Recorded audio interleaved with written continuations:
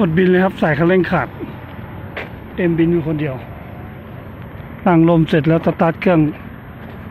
ดึงเอ้ยดึงสายสตาร์ทขาดไปแล้ว